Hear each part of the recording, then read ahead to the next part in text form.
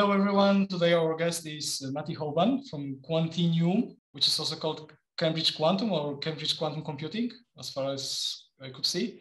So let me say a few words about uh, Matty. So Matty did his PhD at the uh, University College London with Dan Browne around 2011 or 2012, something like this. No, and the, his PhD was about relation between non-locality and measurement-based quantum computation. Then he did a few stays abroad and in the UK. So the first one was in ICFO, uh, in Tony's uh, Acín's group. Then he uh, moved to the University of Oxford, where he was in the groups of Jonathan Barrett and uh, Ian Walmsley. And now he's a senior research scientist at Cambridge Quantum. And Cambridge Quantum, as far as I understand, or Quantinuum, is a private company, no? That yeah, yeah, it's, it's currently software. private, yeah. Fully private. I believe so, yeah. Unless they okay. told me something. Okay, okay. Yeah, yeah. So unless unless I've missed an email. Okay, so today he will tell us about how to use uh, quantum networks to self-test all, uh, I know, pure and states. And maybe before that, he could say a few words about uh, this uh, Quantinuum company. Would that be possible? Yeah, sure. Okay. Um, okay, thanks, Remik, for the really nice introduction. Did I give you this information? Like the, the biography, I was quite impressed. It's like uh, I tried to keep myself very secret. Did you? Uh, did I give you that information? Well, I found your website. Oh, okay. All right. you, so I was you were just trying to read. me. Thanks very much. It was nice. Um, this is quite a challenge, usually. Thanks, Remik. Um, yes, so uh, I'm uh, Matty Hoban. Hello. Um, so I joined Cambridge Quantum Computing, which is a private company um, doing quantum computing research based originally out of Cambridge and then expanded to offices in Japan, London, and now Oxford, which is where I currently am. I'm in Oxford.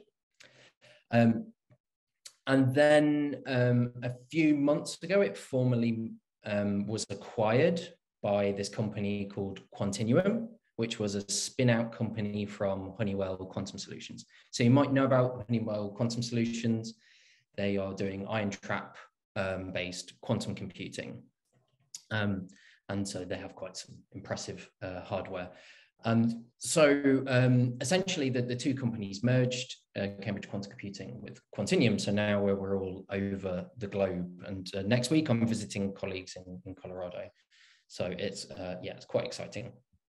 Um, so more specifically, I am in the um, quantum cryptography group at CQ at Quantinuum, which will soon just be at Quantinuum.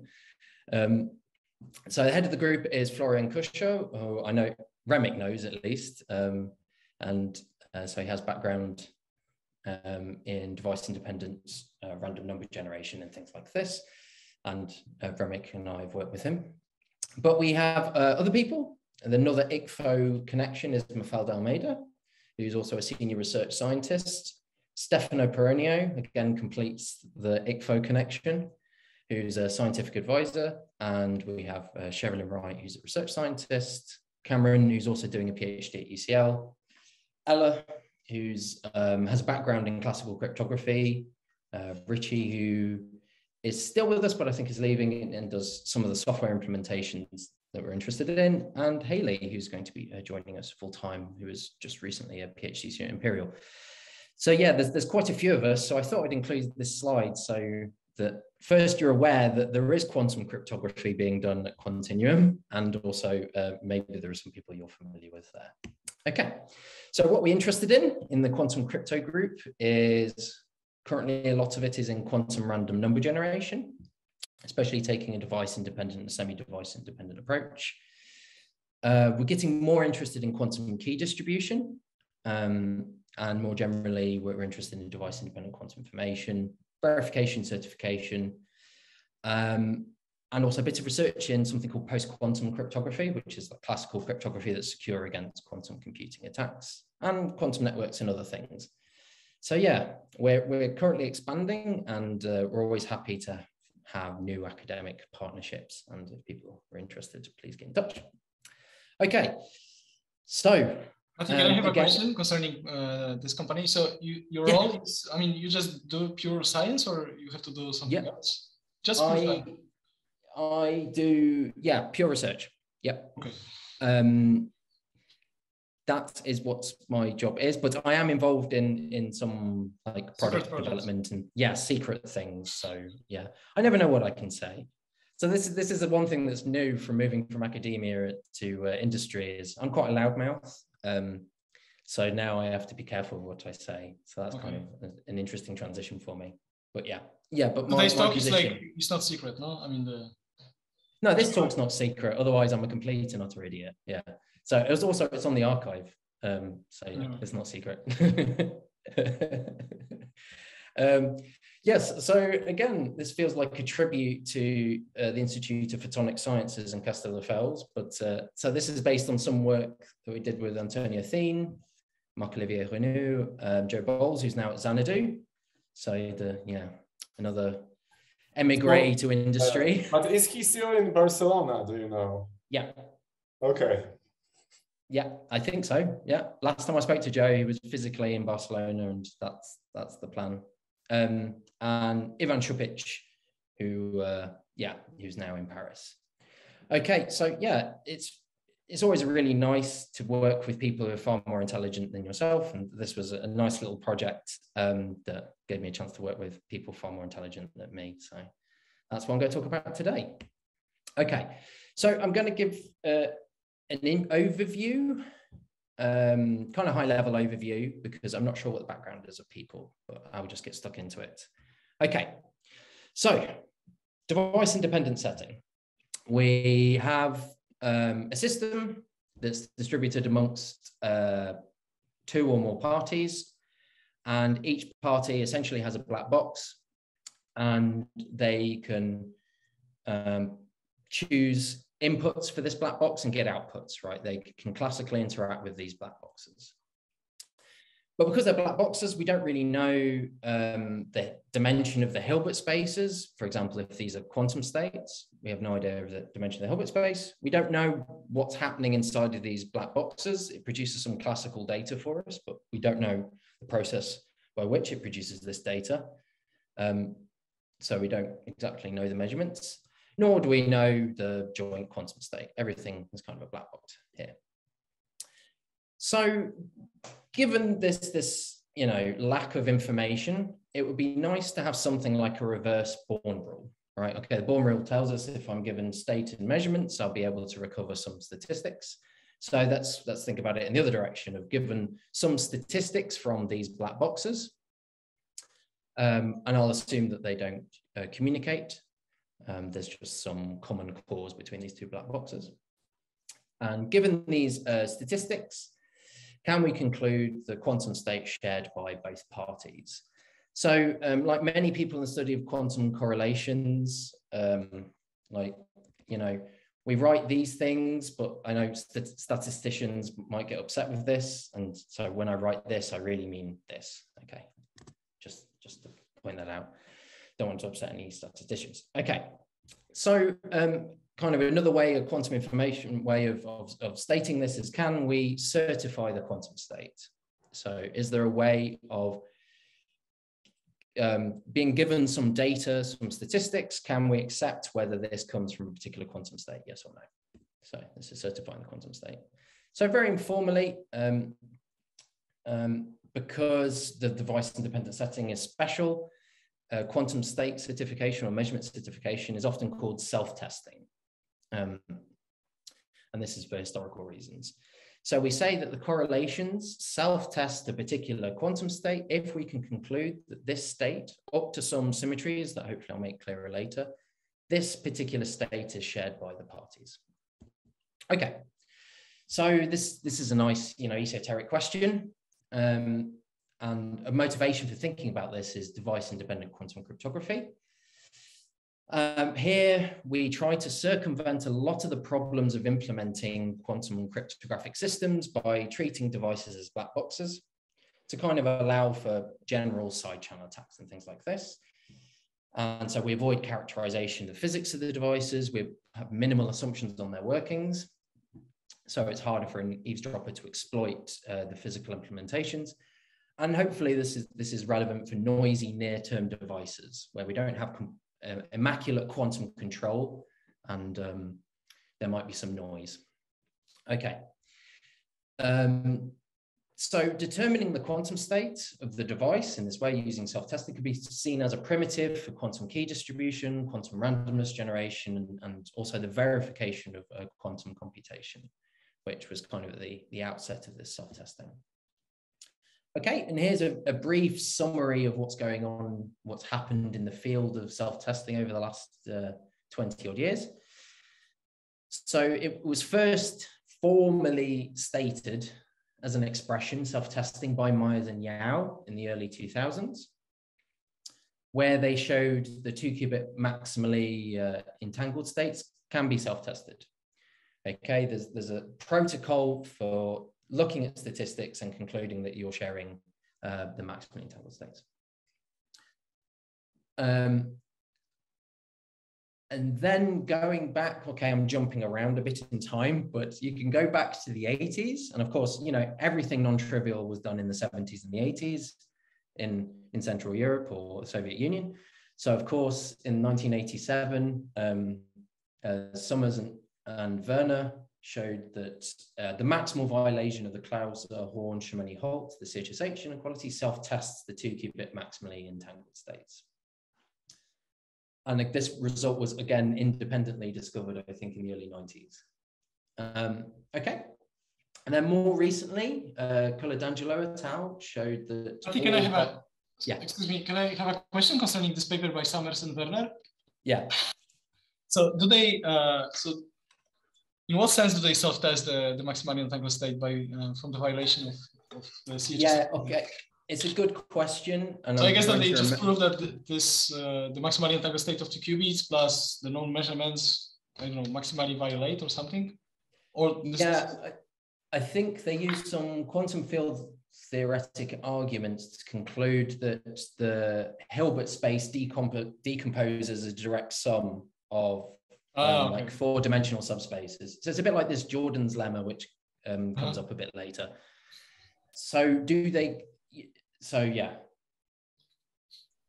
yeah it's not quite phrased in the way that how we normally think of self-testing yeah, okay. yeah, yeah. No, I was curious about is it mathematically equivalent more or less? Mm-hmm. like, or very close yes I, I, th- I think it is more or less mathematically equivalent. I mean we're talking about the maximal violation as well here right? So you're hitting Tsirelson's bound and there's no kind of error here as well. So it's kind of yeah things get simplified. So yeah okay and then um in 2017, all bipartite entangled pure states can be self-tested, as was shown. And as Remik knows well, certain families of multipartite states can also be self-tested um, through some nice general techniques of projecting into subspaces and things like this. Um, but as far as I know, it's still open if all multipartite um, states can be self-tested. Um, so there are general families that can be self-tested, but it's it's unknown in general. Okay. And this and the multipartite setting is interesting, right? You don't have the nice kind of Schmidt decomposition and things like this. Things become complicated when you have three or more parties. So, you know, when you can't solve a major open question, what you do is you generalize the question, you generalize the setting um, in the hope of uh, being able to solve an open problem there, or, you know, uh, you know, at least try and make some progress on open, open problems. So what we've done is thought about this more general setting where you have um, n parties, but you, you really want to know some information about the state on a subset of the parties. So given all n-partite correlations of this form, can we conclude the quantum state shared by some or all of the parties? Okay, and so we came up with this, this distinct notion called network self-testing, where we say that the n-partite correlations network self-test a particular m-partite state, where m can be less than n, if we can conclude that, again, up to some symmetries, the state is shared by m parties. So, you know, you, you can take some known self-testing results and kind of trivially expand them, right? You, you know, if you've got five parties and you've got a way of self-testing the tripartite GHZ states, you can always trivially add more parties, right? But uh, yeah, so we, we consider this more general notion, and hopefully it'll become clear why we consider this more general notion. Okay. And, and the reason is because we have a result, right? So yeah, it's nice to introduce definitions, but then it's also good to have results. Um, so for every finite dimensional pure M-partite entangled states, there exist two M-partite correlations that network self-test. Um, a superposition of that state and its complex conjugate. Okay, so um, yes. So in some sense, we've resolved this open question about multipartite quantum states if you allow this broader definition of network self-testing. Okay.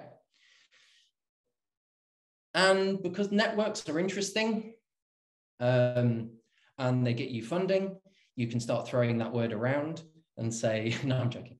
Um, so, uh, so you know, the nice thing about networks is you have source. um, so networks of uh, you could, the way you can think about them, you know, it's about connectivity, and um, there's been you know a recent trend in looking at quantum networks where we can think about independent sources or having distinct causal constraints. So you may have some parties that have a particular source that has a quantum state and it goes to these parties, and there may be an independent source over here, right, um, that gets distributed to other parties. So the, the, these networks are a nice playground where you can start thinking about independence constraints. So you know, here I've got a, a, network where I've got a quantum state gets distributed to all of the parties, but I can imagine two independent quantum states that gets, get distributed to the parties as well. And so when you start imposing extra constraints on, on sources, it can actually reduce the symmetries under which we uh, self-test. And we have a result in this direction as well. So for every finite dimensional pure M-partite entangled state, there exists m plus one partite correlations that network self-test that state or its complex conjugate if you assume extra causal constraints. Um, so the OR is different here. It's distinct from before where we had this superposition of the state and its complex conjugate. Now we, we say we, we have that state or you have the complex conjugate. Okay. Right. Any questions at this point or shall I kind of outline the idea? So maybe I would ask uh, about. Yep. Uh, so you said that. So how it was for every M-partite uh, pure entangled state? Yeah. Does this state need to be like genuinely entangled or any entangled state or? Right, that's a good question. So we're considering pure states. So, um, you know, that simplifies things in terms of being genuine entangled. But yes, you would start with the genuinely entangled pure states. And then if it's not genuinely entangled, you would just run parallel self-tests. Okay, but your scheme includes that, no? I mean, yeah, yeah, yeah, yeah. Okay. So the point being that you can take the, the the genuinely entangled part, run the process on that, and then also on the other genuinely entangled part. So you would reduce it down to its genuinely. Um, okay, but if you don't know the state a priori, no, then you how do you know which uh, which uh, subsystems uh, Ah, okay. If you if you don't know which where, how it's separable across, so I'm assuming that you're you're given a description of the state and you want to certify that you have that particular state. So this is certification where you're promised that. Yeah, but then you, okay. that, but that means that you can like from the beginning assume that the state is genuinely entangled, no? Yeah, yeah, yeah, yeah, yeah.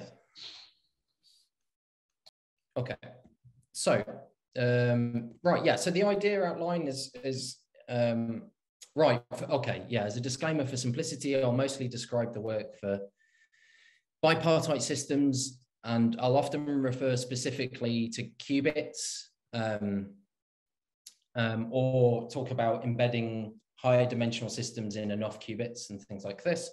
Um, because the, the idea is naturally generalized to more parties and high dimensional systems. So hopefully uh, we'll see that the more systems and high dimensions is a straightforward generalization. But to kind of give intuition of the idea, I'll, I'll probably just be very simple.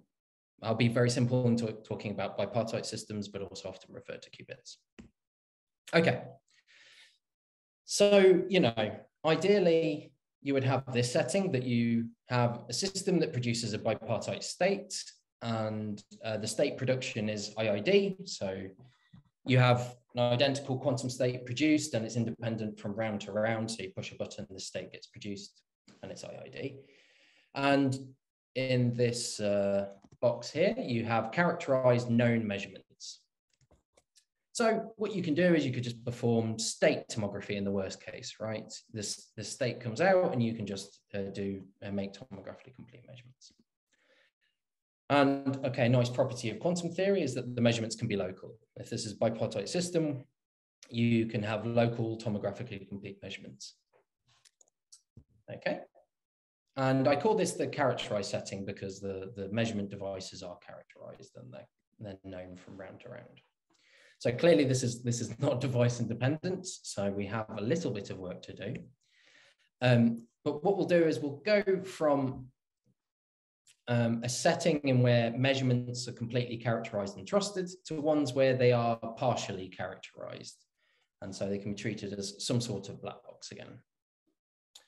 So ideally we would have them being completely uncharacterized, but we'll go to this intermediate setting here, where what we'll do is instead of having these characterized measurements here that are chosen from a set indexed by y, we'll have a, a fixed measurement here that is completely unknown and uncharacterized, but we can feed the measurement a quantum state. And we'll call this a quantum input, in addition to part of a quantum state rho AB. Okay, so you've got an index here of, um, yeah, you've, you've got a, a, way of indexing your collection of quantum states, which will be fed into your measurement device along with uh, whatever this unknown um, source is and you have some number of outcomes A. So we go from um, a setting where we have a known dimension of systems and with characterized measurements to having an unknown dimension of the systems, rho AB. Uh, this is some uh, system that we do not have direct access to. Um, so it's more like the device independent case here. Um, we have these uncharacterized measurements the measurements will take some known characterized quantum inputs. Okay. Um, sometimes this is called the, the measurement device independent setting. Um, so it's kind of an intermediate setting between device dependent and device independent. So, okay, if you knew that um, the measurements being made in this box were Bell state measurements and that the states were tomographically complete, these two settings are, are completely equivalent, right? So making these local tomographic measurements here is equivalent to making um, a Bell state measurement in addition to tomographically complete uh, states coming in. Um, okay. And the idea is, is it's similar to this measurement device independent QKD setting that we have these quantum inputs where through the Bell effect get mapped into effects essentially. So it's the same idea that you have this nice kind of uh, duality between the effects and the states uh, up to a, a complex conjugation. Okay. So, right. So yes, so this setting assuming that these are Bell state measurements, these two settings are completely equivalent. Of course, I'm a priori not assuming they're Bell state measurements, but trying to show that, you know, in this special case, you do get it being completely recovered. And that's, that's the intuition here. Okay. And another way of expanding the setting is um, by getting rid of this assumption of uh, the trusted quantum inputs and replacing it with a remote state preparation. Okay, so initially we just plugged some known um, quantum states into these devices. Now, instead, what we could do is just do remote state preparation, prepare maximally entangled state, and then on one half of the maximally entangled state, we make a, uh, a Pauli measurement, for example, for qubits, and then on the other end, we just plug that qubit into the other end, and that's again equivalent to um, the setting on the left. Okay. So the idea is that maximum entangled states will be used as a resource for preparing quantum inputs on uh, remote parties. Okay. So now going to the device independent setting, we want to uh, get rid of this assumption here, right? That we're preparing maximally entangled states and making particular measurements on one half of the maximally entangled states. We want to be able to do this in a device independent black box way. So um, what we need to do is certify that we share these uh, entangled states and make these local measurements. So we start from our initial uncharacterized measurements. We add for each of these uncharacterized measurements an additional party and uh, then treats everything in a device independent fashion. Okay, so what we want to do is replace what goes on here with a black box, but then certify that they, the, the parties are actually making uh, um, in, entangled states with Pauli measurements. Okay. So to summarize what's going on, we, we, we, have this long path of starting from this tomographic setting and by um, introducing additional resources, we will go to this uh, um, setting, which is the device independent setting. Hi, Remik, I think you. Yes, I, I have a question. So why you need to uh, to have quantum inputs in those uh, measuring devices? What's the idea behind that? Um, well, the idea behind it is that um, in this particular setting, we will be able to um, conclude from statistics that you um, have a particular quantum state. So you can certify any multipartite pure entangled state in this setting if you have these quantum inputs. Because you have this particular case where if you do have the Bell state measurements, you're just basically performing tomography, right? Yes, but yeah, yeah. but then I guess you can certify every uh, quantum state. Yeah, I mean, it doesn't doesn't need to be pure or entangled. Ah, okay. It's a good question about uh, um, whether it can be mixed or pure. You can you can come up with an argument basically by if you start with a, a bipartite mixed state, um, you can purify it and then um, put the purification on one side. So now that yes, one right. party has both the purification and now essentially two parties share a pure state. And then you can apply an isometry to, to that purification and that thing on one side so that everything is, is, is essentially a pure state. And there's no way of distinguishing between a mixed state and a pure state in this case because um, mm-hmm. one. Okay, this is true, but then do you need entanglement like in rho AB to? Well, I guess um, if, you, if, you, can perform uh, local quantum tomography, no, it's like. Yeah. So well yeah this is like this is goes to like a general question of um, you know okay in traditional self-testing you can kind of certify all pure or product states right i mean trivially there are isometries that take whatever you have if say for example that you have a trivial facet of the bell polytope mm-hmm. and then you you you get that value you can you can say there exist isometries that take me to to uh, to a product state, for example. Mm-hmm. So we're only really interested in certifying and self-testing entangled states. But yeah, yeah, a, yeah, there's nothing really stopping you from trying to do tomography on, on separable states. But the, the point being that entangled states will be the resource we care about. Yeah. Okay. Yeah. Yeah, I mean, if, if if the title of the paper was "We can certify all product states," that maybe people wouldn't be that interested. I don't know.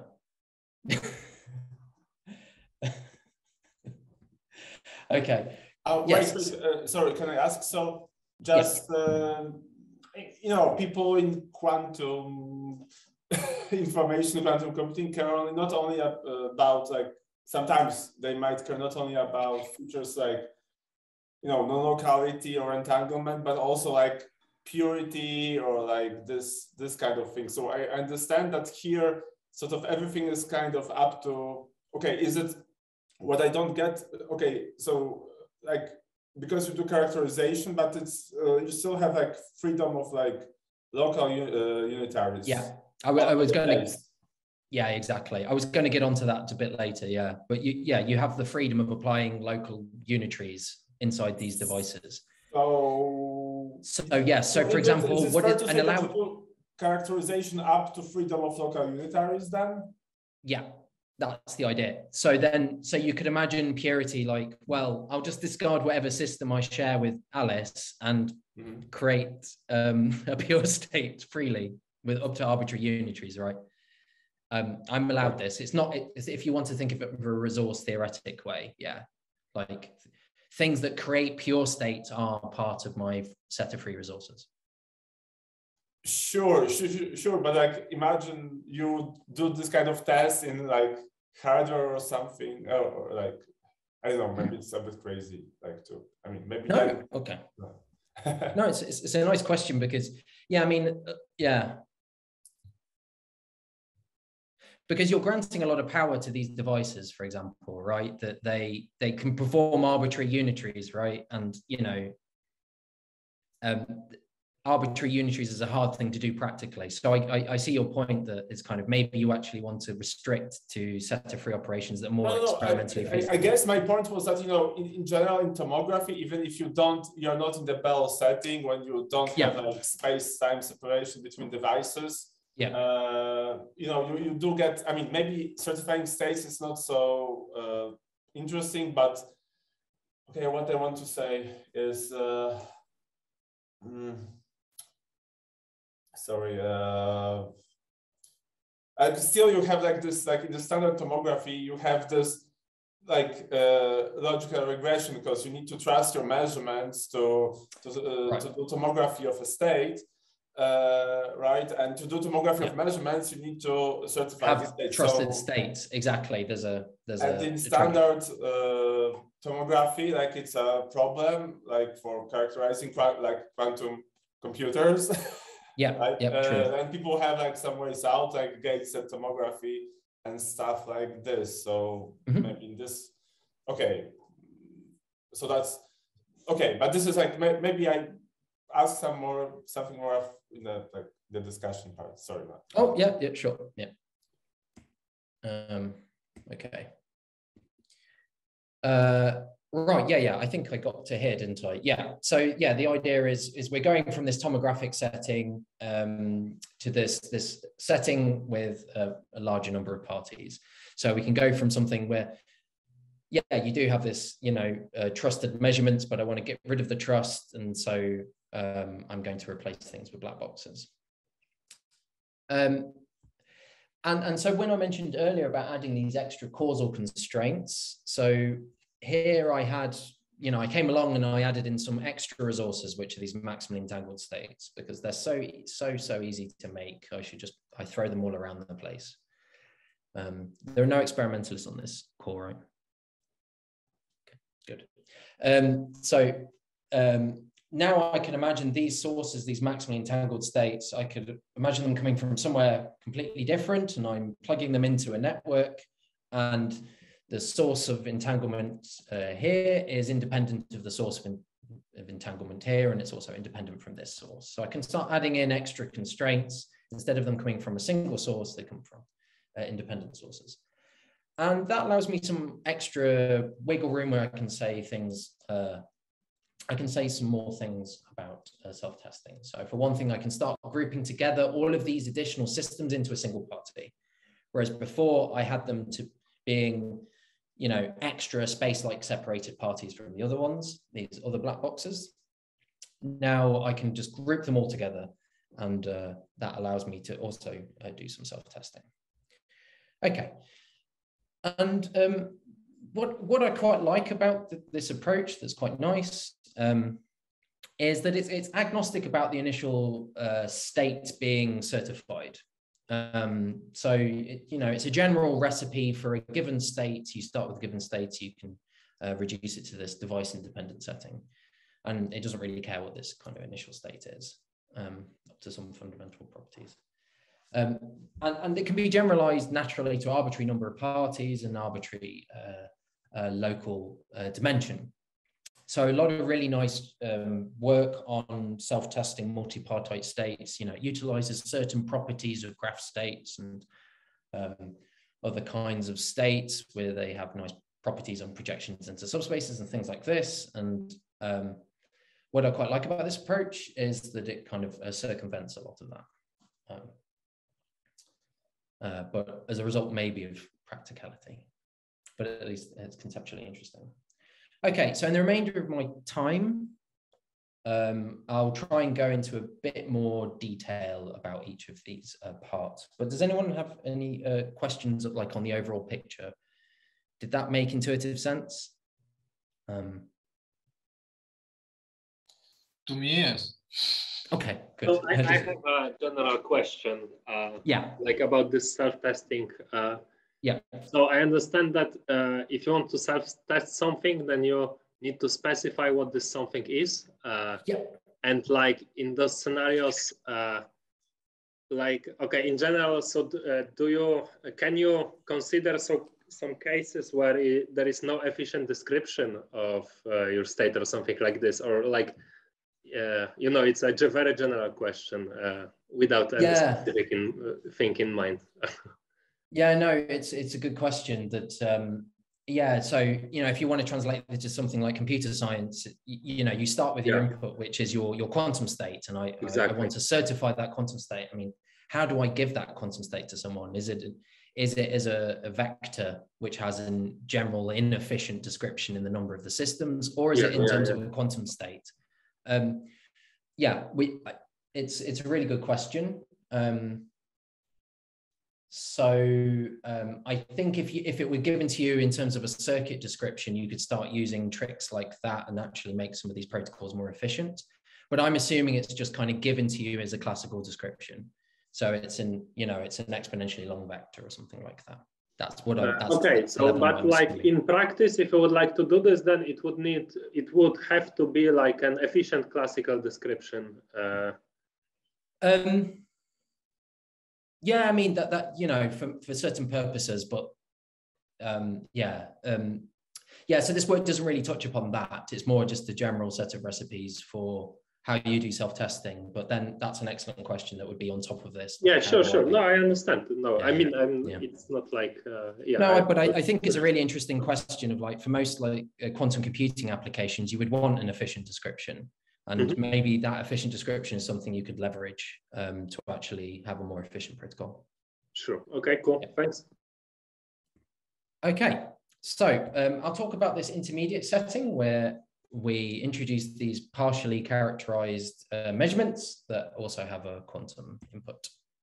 Okay, and this was uh, based on some work with Ivan Šupić, Laia Domingo Colomer, and uh, Antonio Acín. Um, okay. So yes, to go in a little bit more detail about this setting, we have uh, th this P uh, rho AB. Um, the dimensions of the systems is unknown, and uh, we have these uncharacterized measurements and the measurements take quantum inputs, and these are characterized. So, you know, um, we imagine that there's an Hilbert, Hilbert space uh, HA and HB, and rho is um, acting on those Hilbert spaces. And these boxes here correspond to uh, measurements. So here we have a joint measurement M, which acts on the system A prime, which is this system and also A. And we have uh, another POVM element that uh, acts on B and B prime. And this B prime is where you have your trusted quantum inputs and also with A prime here. So what happens is you assume that you've got, again, IID states and measurements. So each time you run the experiment, your, um, your measurements and states aren't, aren't varying but you um, have local measurements performed on um, parts of the shared state as well as the quantum input state. So then the, again, as I said, the statistics look like this. So we've got P, A, B. So AB are just the classical measurement outcomes of uh, these general measurements. And then we've got um, the input states, um, psi X, uh, psi Y. Okay. So conditioned on these particular inputs, I get uh, A and B in statistics.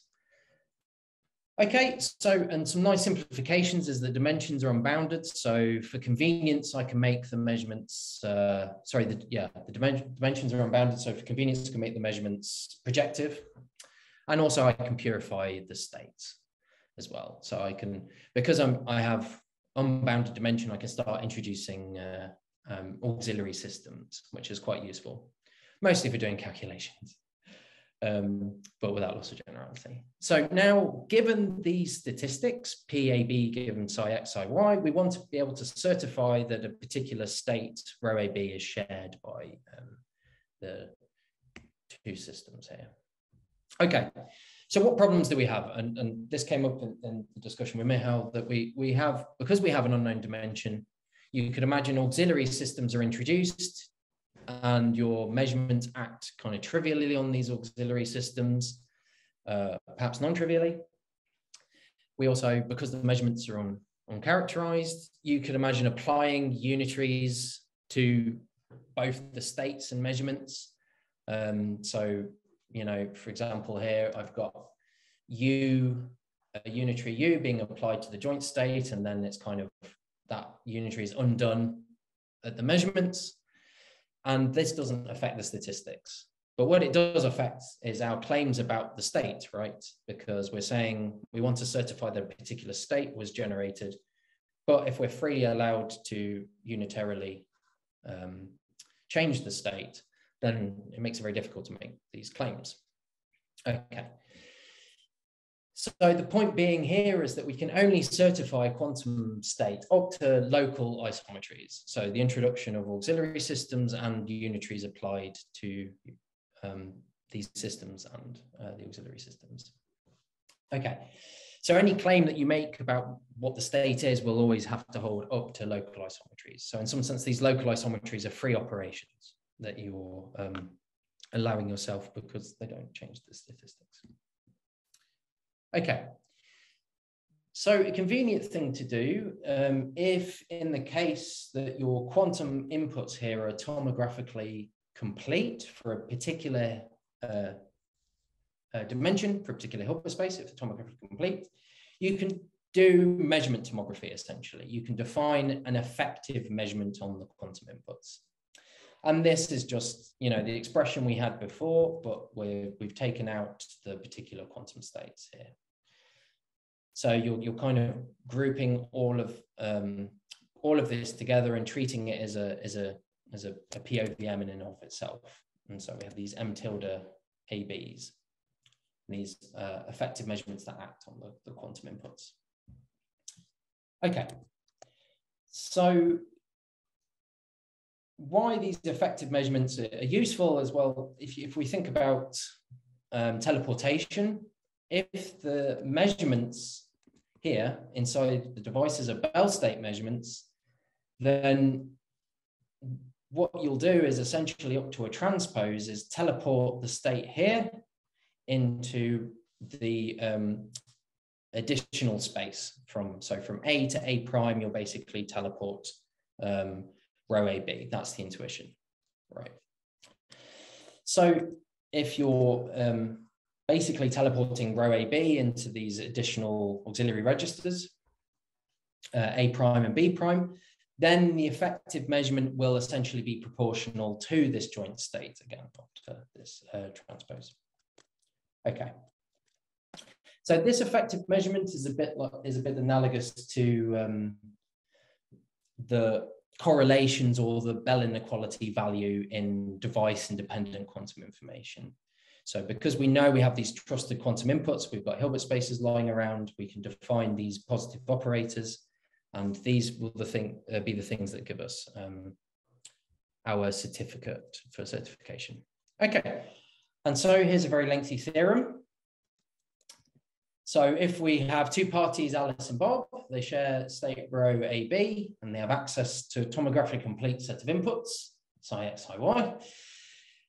If each party performs a joint measurement on their state rho AB and a quantum input, and if these correlations written in terms of this effective measurement are this form here, and we find that when we do um, run this experiment a bunch of times, and we find that this effective measurement is proportional to a, um, to a state psi, we can self-test this state psi up to some uh, correcting unitaries.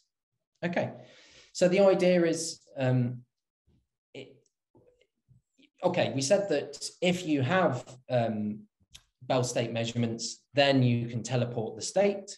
And then the idea is, well, um, if I'm given that my effective measurements have this particular form, that they're proportional to the state, I can kind of infer backwards that I've got something like a Bell state measurement.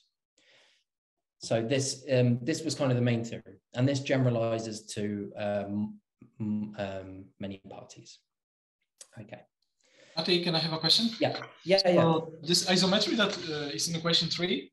Yeah. So you you, you know it's explicit explicit form, no? It's uh, I mean you can cons you Yep. construct. Okay. It's a it's a constructive um, proof. So I was going to quickly show the isometry. Why it's um, called theoretical construction? I mean, it's Ah.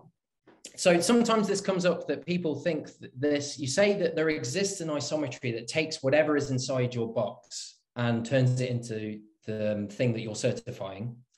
People think that's actually done, uh, implemented in the protocol. But the point of this isometry is it's a mathematical tool saying it- that there exists an isometry that will take whatever you have to um, that state that you care about. So it's a theoretical construction. Okay. Mhm. that's what I mean by that. I mean, yeah, no, no one's actually implementing this isometry in, in the laboratory necessarily. Okay, and and this this isometry is essentially a form of teleportation.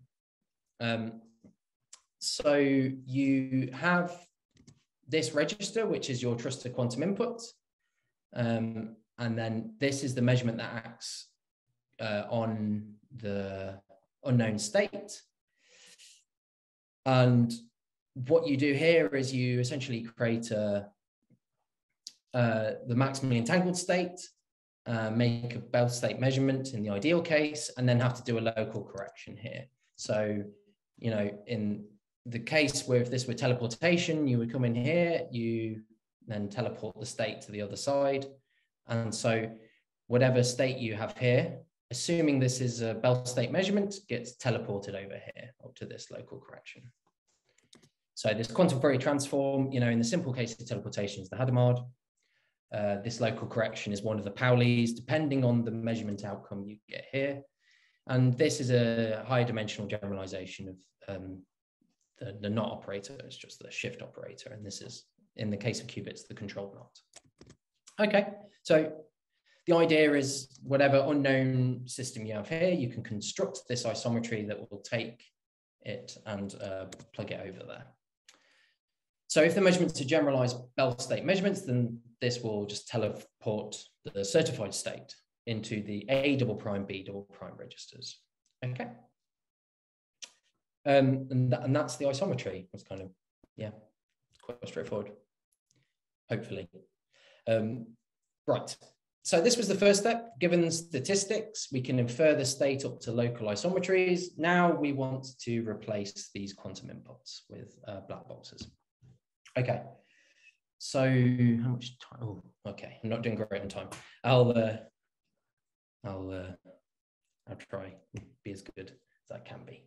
Okay. So the second step now is we want to start from this black box setting uh, in the bottom right and be able to recover given certification that you have a joint state with local measurements. Okay. So this is now a traditional Bell test, which hopefully uh, uh, you're familiar with, uh, where we're assuming you've got an IID state and measurement, again, unbounded measurement uh, dimensions, so we can assume uh, measurements are projective and the state space is pure. And then we're just going to collect kind of a Bell test statistics, which look like this. Okay.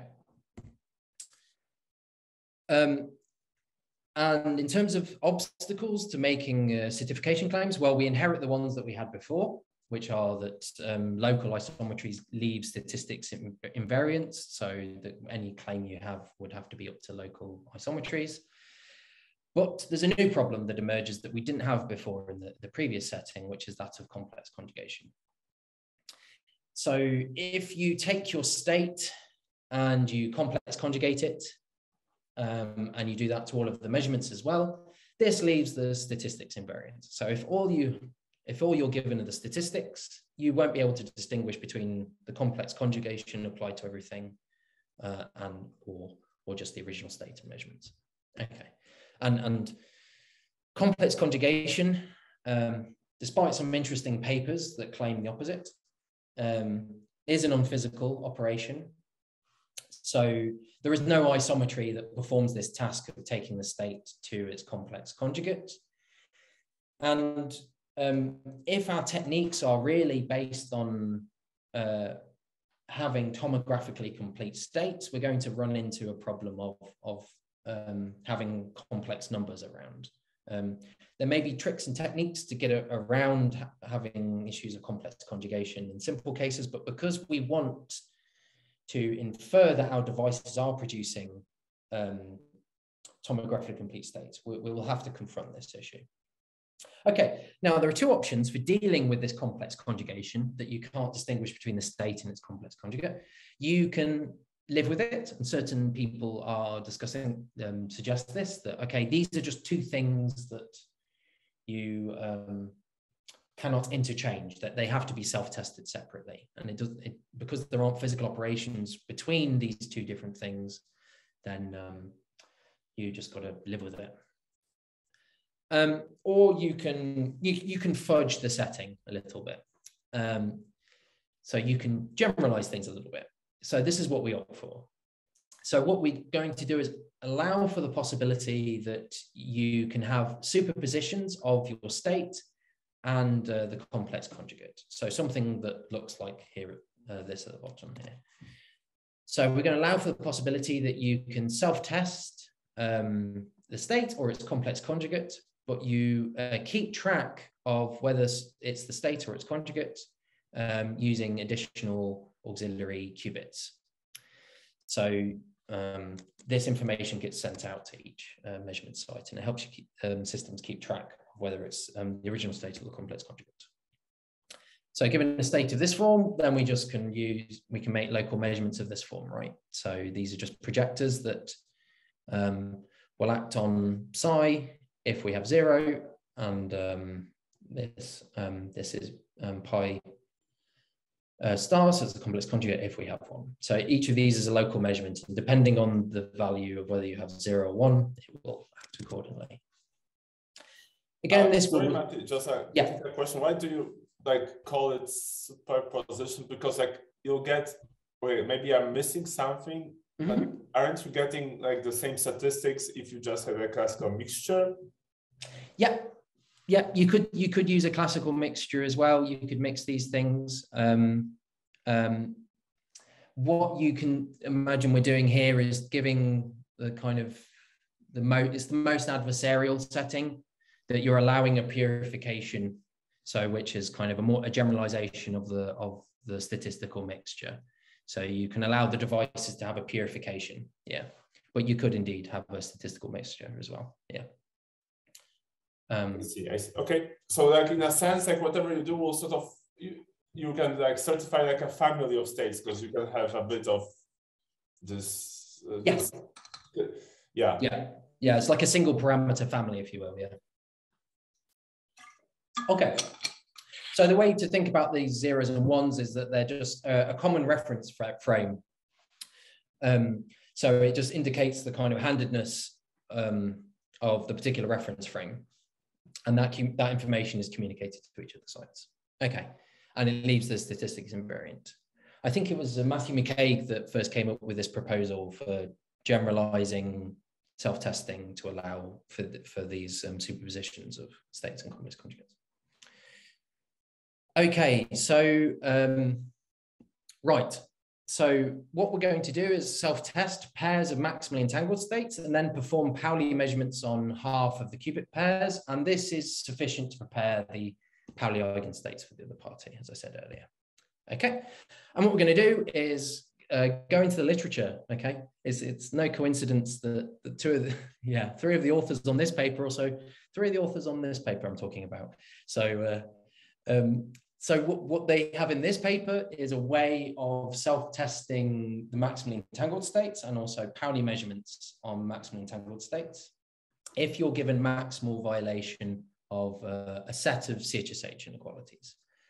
And so uh, what they can show is um, if you get the maximal violation, there exists an isometry that maps the experimental state to Pauli measurements on halves of n maximally entangled states. So in this case, you know, this psi would be uh, pairs of maximally entangled two qubit states, and then these would just be the, the Pauli uh, projectors. Okay. And, and the reason why we have uh, the, the, this handedness, this, this extra qubit of information, this is to keep track of the complex conjugate because uh, we need to keep track of whether we're going to measure Pauli y or, or minus y. Yeah, okay. Um, so, yeah. So if, if we got the, so yeah, for the, so they, they go through this for qubits, but it generalizes to multi-qubit states. So if you get the maximal violation of a sum of three CHSH expressions, you um, uh, you can show that there exists an isometry that maps it to uh, this state with measurements. And in this experiment, one party, which in our case will be the auxiliary party, measures Pauli X, Y, and Z. And the other party makes uh, one of six measurements, which are basically like uh, rotated measurements in the Bloch sphere.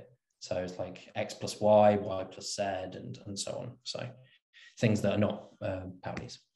Okay. And then the isometry looks like this. This is um, called the swap isometry. So if, if you're familiar with self-testing, you might see, have seen something like this. What this does, why it's called the swap isometry is because it, um, it swaps the state stored here and here into these uh, auxiliary registers here. Okay. Um, yeah, right. So the point being that up to local isometries, given the maximal violation of a particular band inequality, one partly uh, remotely prepares Pauli eigenstates up to this issue of complex conjugation. So you're having to keep track of whether you have this system or it's, it's complex conjugate superposition. So in the time I've got left, I'll put this all together with lovely pictures. Um, so we started in this setting here. We um, have this self-testing here and here, which allows us to deduce that the, the two parties share maximally entangled state. They make Pauli measurements.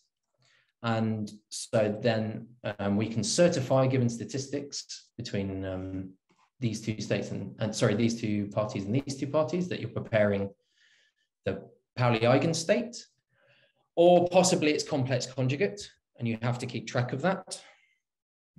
So now um, you, once you're in the setting that you know that you're preparing up to isometries, the Pauli eigenstate or its complex conjugate, you can then use um, the result I uh, mentioned earlier to get back to um, this fully characterized um, setting. So the idea being that I can compose these isometries and deduce that I'm sharing a particular quantum state, even though I started in this fully device independent setting. But I had as my kind of subroutine this self-testing of the maximally entangled state. Okay, so here's a lot of words. Um, so the first result is for qubits, there are n main parties, and for each party, there's an auxiliary party. If the n main parties each make one of seven measurements, six for the self-testing of the maximally entangled states, and one for the trusted quantum input certification, which is a Bell state measurement. So each main party makes one of seven measurements, and then each associated auxiliary party makes one of three measurements, which just correspond to the, the Pauli measurements. If you get that maximal violation of the CHS, this, these CHSH expressions, then the resulting effective measurement is proportional and sorry, and the resulting effective measurement is proportional to the target state. Then there exists CPTP maps that up to some extra junk that we don't care about maps our initial physical state to the superposition of psi and psi star. Okay. And uh, in the case where we have these independent sources. But can we, I have a question? Yeah, sure. Yeah. Uh, so can you go back to the to the other slide? Yeah. So here you say that uh, so one for the trusted quantum input certification Bell state measurement, but you have to do you have to certify this measurement or? No, you don't have to certify this measurement. No. So you you um, you look at the statistics PAB given psi x psi y. So you're conditioned on knowing that you've got the particular Pauli eigenstates being plugged in, mm-hmm. and all you do is just look at the statistics. PAB given psi x psi y. So you don't have to certify that you have the Bell state measurement. Pretty sure if you wanted to, you could, um, but it's it's more than that's more than we need. Okay, and um, yeah, so what changes here now is we can take all of these additional n parties, put, put them into one auxiliary party, and um, um, now we can uh, self-test this state or this state. So either that, that everything is um, um, psi or psi star. And the intuition behind this is, well, if the sources are independent, they, they're not allowed to have this shared reference frame where either they have uh, psi or psi star, right? That they do not have these zero zero zero zero zero one one one one one because each of the um, states that they prepare is independent, and that's that's the intuition there. So you get rid of this shared reference frame. Okay. Okay, so I should I should really stop talking now.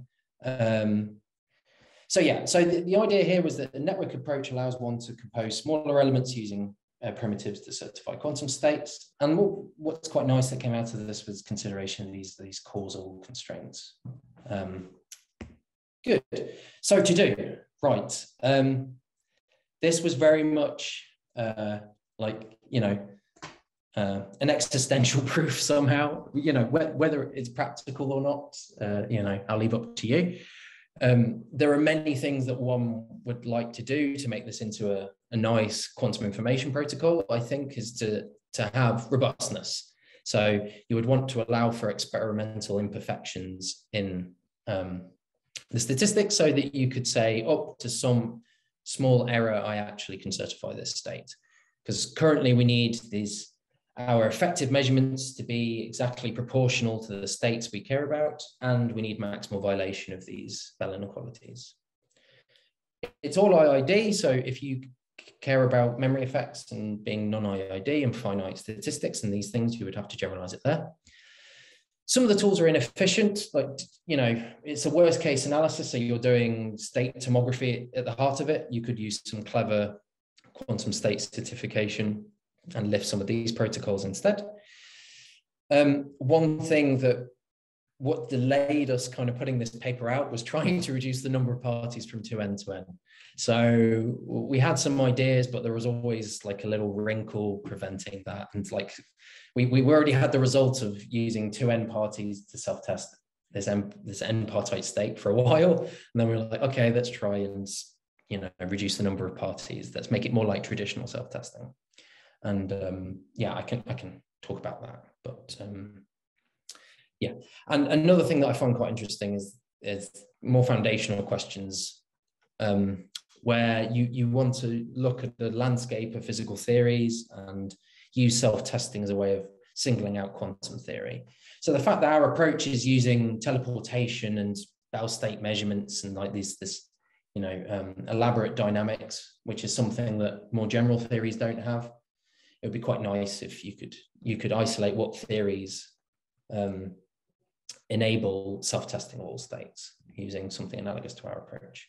Yeah, and, and this is just a recent thing I thought about, inspired by this this paper by Miriam Weilenmann and Roger Colbeck, and uh, I should definitely stop talking. So thanks, thanks for having me. Uh, okay, thanks, Matty, for for this nice presentation. So, do you people have any questions? What do you mean, you people? Well, the other people attending the seminar. Sorry, it was it's a little meme. well, I didn't ask you. oh, I think so, a hand appeared from somewhere. Actually, I have two questions, but one of boring. So, um, my first question is like, um, it's basically about this first point in your conclusion slide. Um, mm-hmm. Do you think it's possible to um, like generalized setting where you have some errors and some some non-robust uh, machines with the like technology you have mathematically, or do you, is it like a big leap to get to this? Um, so it, I think we initially thought it was possible, um, but like the, the errors would be tiny essentially that it could tolerate a non-zero amount of error, but yeah, you know, no. yeah, non-zero it leaves a lot of wiggle room. Yeah. so um, so you might say okay that you, you you have your epsilon close to a violation and then like and then you're some power of epsilon away in the fidelity at the end or something of the, your target state yeah. um but now i'm trying to remember what it was a while ago that what problems we had. I think it was with the issue of the Bell state measurement. Mm-hmm. So you might have to go in and do like robust self-testing of the Bell state measurement itself, which again may add to your woes in terms of proving robustness. So I think with the current machinery we have analytically, you might be able to get some non-zero tolerance, but it would be, I reckon, quite small. Yeah. So for, for a definition of practical, probably not practical. Yeah. Um, my other query, a question was, um, I mean, I haven't read your paper. I probably should do. I guess it's in there, but um, you said a few times that you you assume uh, unbounded dimension, right? In your yeah. Uh, is that unbounded but finite, or does it still work if your machine is allowed to have infinite dimensional systems? Um, excellent question. I'm assuming unbounded but finite. Yeah. Okay. Yeah. Yeah. So it can cheat um, uh, if it has influence, or. Um. So for certain self tests, I think infinite dimensional systems gives you no extra vavavoom. But yeah, that that doesn't hold in general. Okay. Um, from off the top of my head so yeah you would have to you would have to prove some kind of approximability and given that this isn't robust like yeah, yeah. yeah you, you would have to prove that you would yeah you, you could be epsilon close with a high enough dimension but yeah so unbounded but finite okay any other question Remy, can I? Yes. Oh, Michal, yeah. Oh, uh, you raised your hand or something? Because I don't Hi, hi. I, I also had a question. Oh, hi. Yeah. Hi, Shubhayan. Yeah. Hi. Hi. Thanks for the talk. So I wanted to ask that, uh, as you said, that you need a tomogra tomographically complete set of states mm -hmm. to to uh, self-test like a, any multipartite entangled state. So mm -hmm. as you showed that for d equal to two, there is like some works which show this so show this uh, self-testing but what about like higher dimensions yeah um, so there's there's a, yeah again this is a bit of trickery that you can say um, whatever dimensional system you have your target dimension you can encode it in enough qubits as essentially that's like that's one way to generalize it so um, you know if, if you have a three-dimensional system you could encode it in two qubits right as, as in a subspace in two, two qubits so the, the point being that your tomographic complete set of states grows much faster than the dimension of the system. So that's another source of inefficiency. But yes, that is one approach to generalize it to uh, high dimensional systems. But would I advocate that as the most efficient? No. But it's again, it's just you. We're, we're just showing that something is possible rather than practical. I see. So, so like uh, if you have considered like for d equal to three, you need to like look at tomographically complete set of measure like uh, states in like d equal to four right yeah exactly something yeah like this. Oh. yeah so oh, it's thanks. you know it's a lot Michal, you wanted to ask? Yeah, one, uh, one quick question. So do you, are you able to also self-test uh, measurements performed? Um, um, Maybe it's actually something I've not thought about. Um, I'm not seeing a reason why not, um, but it's I've not not worked through it essentially. Like um, I, I like you're, you're composing isometries, which okay. I mean the the yeah, there may be some trick. There may be some issues with the Bell state measurement, just kind of it being compatible. But yeah, yeah. And one more question. So I just want to clarify if I understood you right. So at some, I mean, uh, as you said, the heart of your protocol is essentially state tomography uh, on two parties. So, or, or many parties. Uh, yeah, yeah, yeah. So, and you made a comment that perhaps we can just uh, use, uh, okay, if we are interested in, in some specific state, I guess what you're implying, we can just do, I know, fidelity witness or something like this. To, yeah, yeah, yeah. So okay, you could do, like you could do something like that. Yeah, I mean, um, yeah, or indeed, you know, yeah. So, for example, if it's a maximum entangled state, you just need to make x, x, and z, z measurements, right? Sure, you never, sure, even, sure. you never even have to touch y, for example, and yeah. Right, but that would be like a certification up to local isometries again. Right? Again, exactly. Uh, yeah, yeah. Okay. But cool. but you're you're looking at a subset of the of the of the data. So yeah. Sure, sure, sure. I mean that's like what people do in tomo. I mean, exactly. That's why people don't do tomography for larger systems. They do. Indeed, indeed. That's why yeah, tomography is complete overkill for certification. That's why you have efficient certification schemes, but in tomography in general, isn't you know it's not efficient, right? Yeah. So again, this is a kind of a worst case approach and um, it would be nice to actually take some of the results on certification and like I think like Ryan O'Donnell and various people have been working on and and I'd like to see how that changes things. But they look, I guess, at sample efficiency and things like this. Yeah, but that'd be nice. Cool. Thanks. Okay. So, any other question? So maybe I would have one. So concerning this, uh, so you had this result with uh, with Ivan and Laia. Yeah. Where you use quantum inputs. So how yeah. this for certification? No? So how this compares to, to the paper by Coladangelo? I mean, so I mean, it's, it's known that you can like self-test any pure entangled state. Mm-hmm. Yeah. Classical inputs, no. So why you need quantum inputs? Um, yeah, I mean, well, you know, the, um, so when we, we we looked at this, it was before um,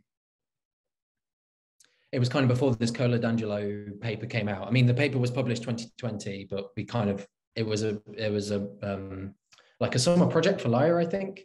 Mm-hmm. And so it was like it was a nice project to work on, and then um, you, you're right that you yeah, the Coladangelo paper kind of came along and shows you how you could do it with classical inputs. Um, and so we um, tried to posit it that maybe it could be um, useful in, in general kind of quantum network settings where you would use a hybrid of device independent and, and intermediate settings. So yeah, I mean, the, the, the Coladangelo et al. result is is more impressive, and I would never say otherwise. But it's quite nice that this per- this paper got repurposed as uh, something in this network self-testing approach. Yeah. So, and in fact, in I remember writing up when we were writing up the paper, I even added a sentence saying it would be quite nice to replace these quantum inputs with uh, like a device-independent protocol. And so, yeah, that, that's kind of what we did. Yeah. But then, but then uh, okay, but the, then the, the number of like inputs grows with the of uh, with the dimension of with the local dimension of the state. Yeah, yeah, yeah. Oh, and also the point, you know, the Coladangelo is for bipartite, whereas this generalized to multipartite okay. is, is is always. Uh, yeah, I should have said that as well. I was kind of taking historical okay. angle, but but it generalizes for the multipartite case. Yeah, yeah. Sorry, that's the more obvious answer. I don't know. I went on a little historical rant. So, any other question? Okay, so it's, it seems that it's a uh, perfect time to, to, to finish this, uh, this seminar. Thank you, Matty, once more. Thanks for having me. See you, everyone. Thank you, Matty. Cheers. See you. See you. Bye.